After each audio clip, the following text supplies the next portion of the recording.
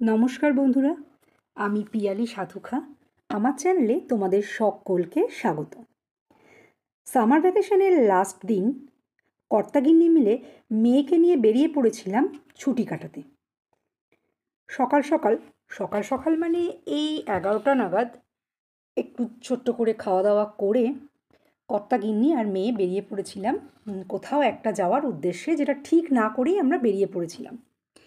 তারপরে যাই হোক, যেতে যেতে ভাবলাম, না, অন্য কোথাও না। এত গরমে, চলো কোথাও একটু ঠান্ডার জায়গায় যাওয়া যাক। আর কলকাতায় ঠান্ডা? কলকাতায় ঠান্ডা গরমকালে পেতে গেলে তো এক জায়গাতেই যেতে হবে, সেটা হচ্ছে অ্যাক্সিস মল। অ্যাক্সিস মলে আমাদেরকে যেতে হলো মানে গেলাম, যেতে হলো বলা ভুল, অ্যাক্সিস মলে আমরা পৌঁছে গেলাম স্নো পার্কের জন্য।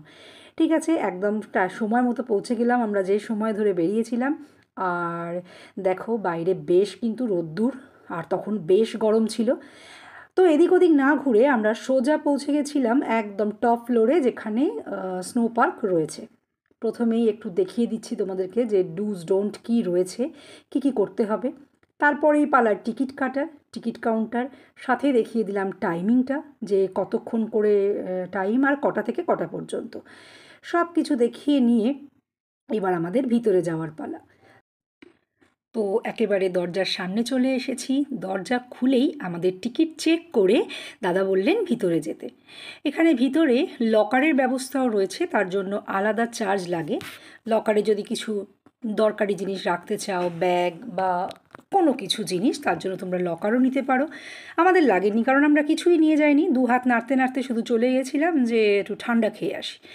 তো আমাদের টিকিটে, টিকিটের যা চার্জ, তার মধ্যেই জ্যাকেট, জুতো, গ্লাভস এগুলো রয়েছে।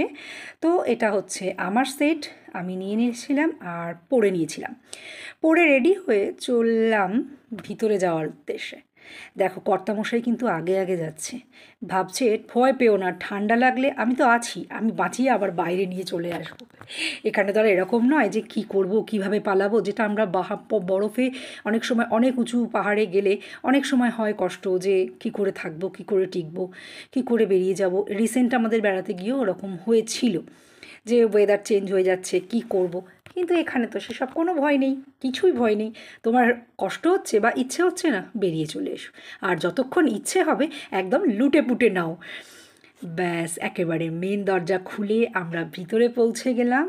গিয়ে তো একেবারে অবাক যে বাপরে, কত লোক!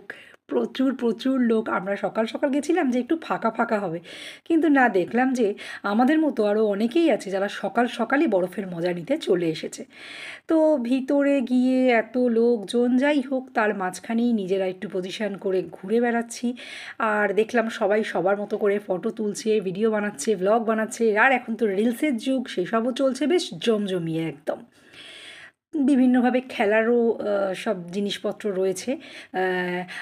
আমরা আগেরবার যখন গেছিলাম, এটা আমাদের সেকেন্ড টাইম যখন আমরা আগেরবার গেছিলাম, তখন ফুল ব্লগ বানিয়েছিলাম, একদম খেলছিলাম, মজা করছিলাম, চারজনে গেছিলাম। তো এবারে আর ওই সব খেলার ইচ্ছেও ছিল না। আর হচ্ছে মানে মেন আমরা উপভোগ করতে গেছি ঠান্ডাটা, যে জাস্ট ঠান্ডার মধ্যে গিয়ে ঢুকে বসে থাকব এক ঘণ্টা। যাই হোক এদিক ওদিক ঘুরে ঘাড়ে সব আবার দেখছি। আমার জায়গাটা অ্যাকচুয়ালি আমাদের সবারই খুব প্রিয়, খুব ভালো লাগে, বারবার যেতে ইচ্ছে করে।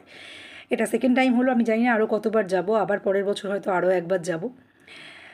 দেখো, সবাই কিন্তু খুব মজায়, ওই যে টিউব নিয়ে উঠছে ওপরে স্লাইড করবে বলে। এবারে দেখলাম একদিকে স্লাইডটা খারাপ ছিল, তাই বন্ধ ছিল, আর একদিকেরটা দিয়েই কাজ হচ্ছিল তাই বেশ লাইনও পড়ে যাচ্ছিল আর কি।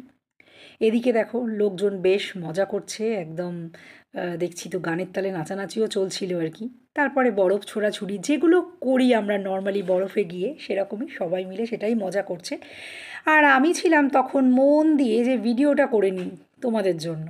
কারণ যেখানেই যাই, বেশ একটু সুন্দর করে ভিডিও তুলে আনতে ইচ্ছে করে যাতে তোমরা দেখে তোমরাও মজা পাও। তারপরে ভাবলাম, ওমা, আমি কি থাকব না এই ভিডিওতে তখন কর্তামশাইয়ের হাতে, মেয়ের হাতে ফোন ধরিয়ে দিলাম। না, এটা আমার কর্তামশাই তুলেছে, কারণ মেয়ে ওই যে ওখানে সেলফি তুলছে। তো একটু বরফ নিয়ে ছোড়াছুড়ি করলাম, কিন্তু মস্তানিটা করছিলাম গ্লাভসটা খুলে রেখে, খালি হাতে। তারপরেই দেখলাম হাত পুরো জ্বালা জ্বালা করছিল একদম। যাই হোক, সব ঠিকঠাক করে নিয়ে আমিও টিউব নিয়ে ওই যে উঠে গেছি, দেখো। ওপরে বসেও পড়লাম। আর একদম ক্যামেরাম্যানকে কিন্তু বলাই আছে যেন একটুও মিস না হয়, শেষ পর্যন্ত যে কীভাবে পৌঁছলাম আমি সেটা যেন থাকে। চলে এলাম, আরে আরে, সর সর সর সর। ব্যাস, পৌঁছে গেছি। চলো এবার হেল্পিং হ্যান্ড নিয়ে আমায় তোলো, বাঁচাও। দেখো, আমি কিন্তু একটুও মজা করতে ছাড়ি না। আমার ভীষণ ভালো লাগে। মজা করতে আমার খুব মজা লাগে। দেখো, পাহাড়ও চড়ে নিলাম কিন্তু। দড়িটাও ছাড়িনি। তারপরে তো একদম মিউজিক আহ, যেন মনে হচ্ছে ডিস্কো নাইট দেখো, পরিবেশটাই পুরো অন্যরকম। তো আমিও ঘুরে ঘুরে মজা করছি ফটো তুলছি ভিডিও করছি। এই সবের মধ্যেই লোকজন এসে বলে গেল যে ওদের নতুন একটা জিনিস অ্যাড হয়েছে, সেটা হচ্ছে স্নোফল হবে। ঠিক আছে? তো স্নোফলের জন্য আমাদেরকে সবাইকে একটা জায়গায় চলে আসতে বলছিল যে মাঝখানটায় চলে আসুন সবাই, এখানে স্নোফল হবে। আমরা একদম একটু দেরি না করে চলে এসেছি, আর আমি এই যে দেখি ওপরে খুঁজছি যে কোথায়, কোন জায়গা থেকে হবে, সেই পজিশনে আমি ক্যামেরা রেডি করে রাখব জাস্ট শুরু হলেই একদম আমার যেন একটু মিস না হয় আর কি, প্রতিটা মুহূর্ত যেন আমি আমি ওপরে খুঁজছিলাম জাস্ট যে কোথা থেকে হবে, কোন পজিশন থেকে। তারপরে দেখলাম না, সেরকম কিছু নয়, দেখলাম মানুষই আর কি হাতে করে মেশিন ধরে ওই যে দেখো দেখো দেখো দেখো এইভাবে স্নোফলটা ওরা তৈরি করছে। ঠিক আছে? কিছুই সেরকম বিশেষ মজা হলো না। যেটা মানালিতে গিয়ে হয়েছিল, একদম স্নোফলে একদম দারুণ এনজয় করেছিলাম। এটা হলো আমাদের দার্জিলিংয়ের স্নোফলের মতো মানে ভিজে গেলাম আর কি। দার্জিলিংয়েও এরকমই পেয়েছিলাম।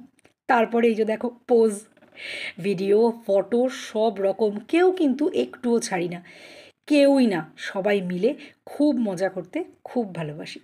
যাই হোক আমাদের আজকের ব্লগ তোমাদের কেমন লাগল? কমেন্ট সেকশানে একদম অবশ্যই জানিও, জানাতে ভুলোই না। ব্যাস, বেরিয়ে পড়লাম ঠান্ডা থেকে আর পৌঁছে গেলাম আবার গরমের জায়গায়। ওদের জ্যাকেট ওদের জুতো, ওদের গ্লাভস ওদেরকে দিয়ে আমাদের এবার বেরিয়ে আসার পালা। কিন্তু কোথায় লাঞ্চ করলাম, ওটা পার্ট টুতে আসবে। সাথে থেকো।